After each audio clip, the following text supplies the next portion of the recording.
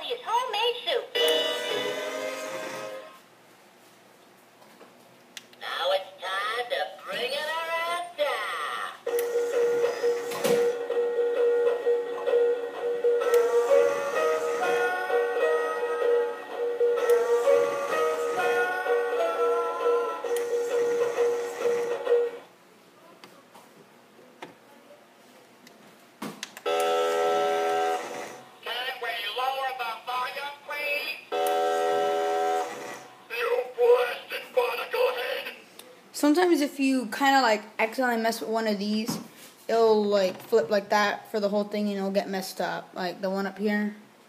I know it's probably like that for the video, but at least you saw the demonstration of it. Bye.